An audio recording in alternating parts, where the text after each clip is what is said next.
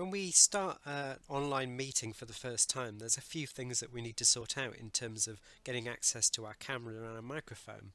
Uh, I'm going to demonstrate that with a Google Hangouts Meet. So the first thing I need to do is join a meeting. I don't need to give it a name, so I can just click on continue. And I'll create a new meeting, and here I am in the lobby of that meeting. Now, Straight away I get this message telling me that I need to give uh, Meet access to my camera and my microphone. I'll dismiss that message. Google is wanting to show notifications. I hate getting notifications so I'm going to block that but you could allow it. And then it says Meet uh, wants to use my microphone and my camera and I'm not going to get very far unless I allow that so let's allow it. So what we've got here now is that it's showing my uh, knees because it's automatically chosen a camera for me.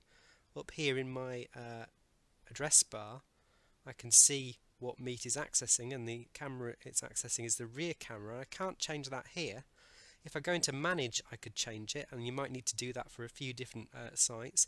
Actually in Meet itself I can go to these three dots and go into settings and I control uh, my microphone, you can see that my microphone is picking up here.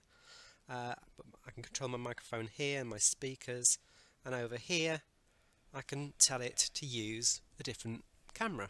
So I want it to use my front camera. There we go. Beautiful. So I can click on done. There I am.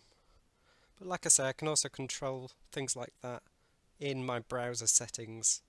If I go to manage, then I've got camera options here and I can switch between cameras here in my browser settings as well.